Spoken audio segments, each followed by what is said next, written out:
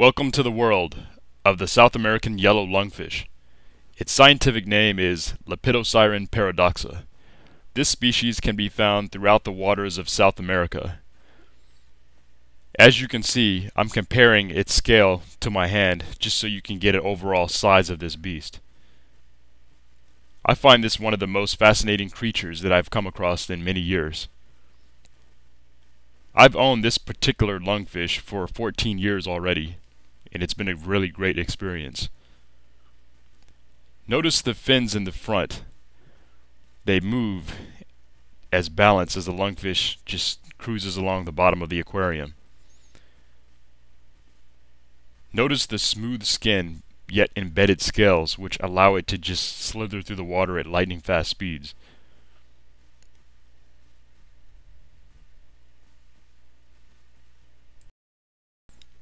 As a juvenile, many years ago, this lungfish had yellow spots and markings in its front region of its head. As it matured, these slowly disappeared and the presence of large black markings started to cover the surface of the skin of the lungfish. I truly believe that these are a sign of age, or perhaps wisdom, so we could say. Notice it stick its head out of its water right now it's taking in oxygen because this fish does have lungs and gills and it will drown if it's not able to do that. This fish surfaces approximately once every six minutes to take in air. If you listen really closely, you can occasionally hear just uh, like an air valve type of sound, similar to a whale or perhaps dolphin. It's kind of neat. Notice again, I'm holding up my hand to compare scale.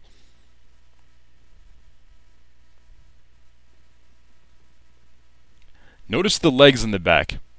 They're helping the lungfish walk along the bottom of the tank. Many observers claim that the lungfish has a smile on its face.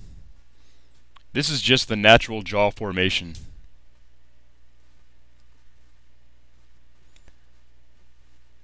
Take a look at the really small eyes. They're extremely small for the body size of this fish. I've just placed 19 pellets into the tank. And now we're going to observe the lungfish, his eating patterns. Take a closer look and enjoy. He senses food at the top because small particles from the food are just falling, you know, throughout the tank and it's able to sense that.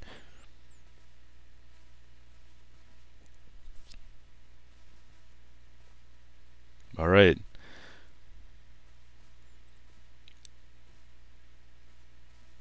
There are also Australian and African versions of the lungfish.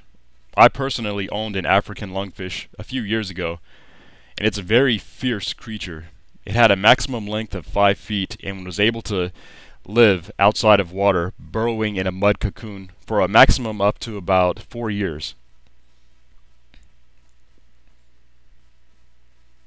The Australian version is a little different and a little more non-aggressive.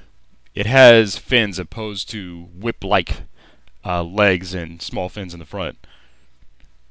The Australian lungfish also has massive scales, and I inquired about it several years ago, and they told me that it was a really difficult species to obtain and almost endangered.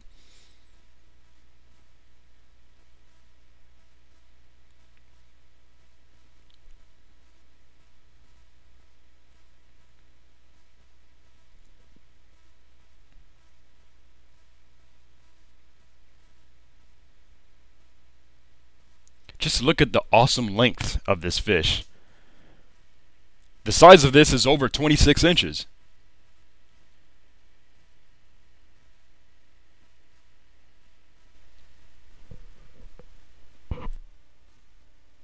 One of the coolest things that you can witness is a lungfish eating its meal. It's quite amazing. Check it out. The lungfish have a bone plate in the top of their palate and their mouth, which enables them to crush hard surfaces such as crawfish, crabs, bones, freshwater snails, and shells. and other aquatic creatures.